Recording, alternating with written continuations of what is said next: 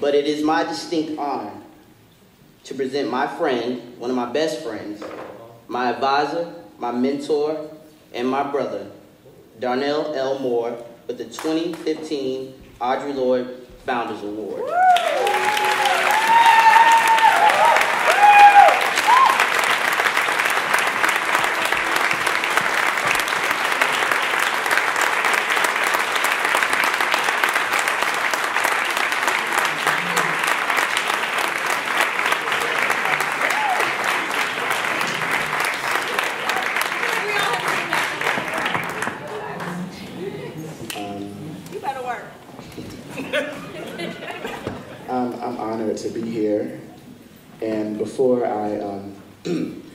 tell you why I think it's good to always name the people on whose shoulders we stand.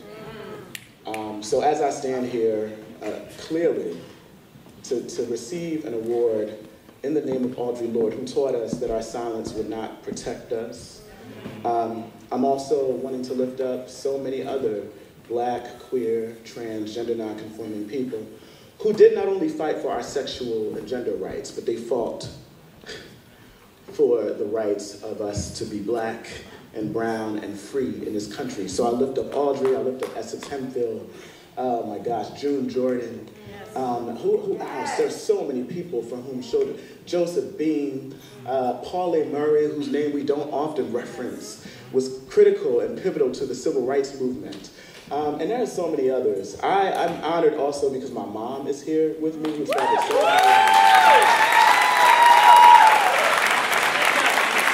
now. And I am because she is. So far before I had an opportunity to, um, to learn fancy words like intersectionality, third wave feminism, um, long before I had an opportunity to really be shaped and molded by the work of black feminists, black lesbian feminists like Cheryl Clarke, um, who was my mentor, like M. Jacqui Alexander, who was Audre Lorde's friend, who was my mentor, like Gloria Joseph. Um, far before I came in contact with them, I came in contact with this woman. She, it was through her womb, her city, that I came into this world. The life world of a black girl who had me at the age of 16 and now is sitting here giving so much to the world.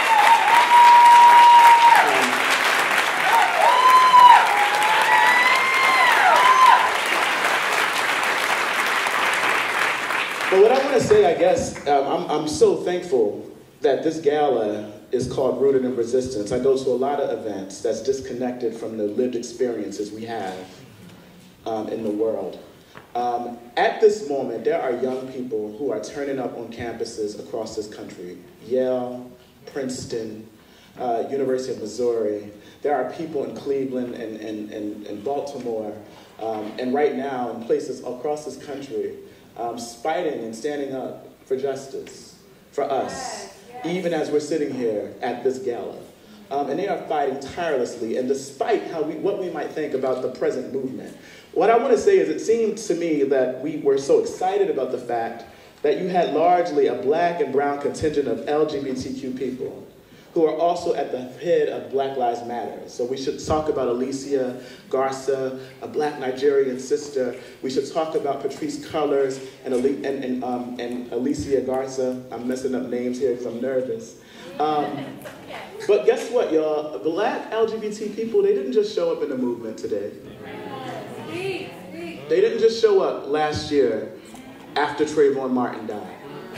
To, to say that would be a disservice, one, to a revised, revisionist black history, and to an American history. In fact, we have always been here, and we have always been fighting for our people. The second thing I'll say, while some of us find it easy to sort of lift up our fist when we ask for folk to talk about Black Lives Matter, I also know that the things we say when we're, when we're not in spaces like this the sort of respectability politics that evade our, our public work. The fact that we got young people doing some, some things that you know, might make some of us look bad because of the way that they're talking and the way that they're posturing. How dare you speak back to a politician? How dare you question the market and the corporate class when they are the ones largely we're relying on for funding? How dare you talk back to a nonprofit industrial complex that will tell you that if you don't do X, Y, or Z, you won't get your grant? How dare you? No, no, no. This is a time when we are saying, oh no, how dare you? when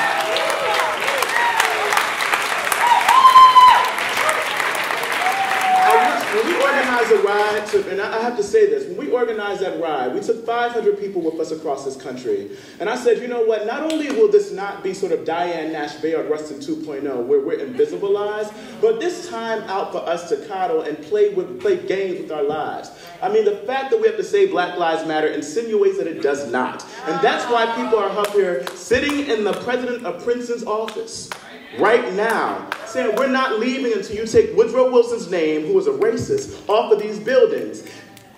That doesn't seem, I know y'all, y'all not feeling that right there. But this is the type of movement that we're in.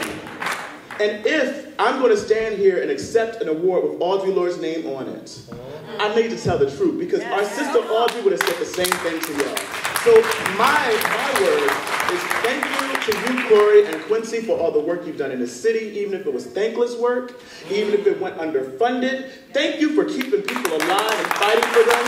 Thank you to all of my brothers and sisters in this place, black and brown, gender nonconforming, queer and trans, without funds or with, who do work despite applause and accolades. Thank you so much for loving us, for loving black people, for loving brown people, for loving folks who others would not love. I pray that your work will continue. And I pray that this community will see that work and back it 155%. Thank you so much.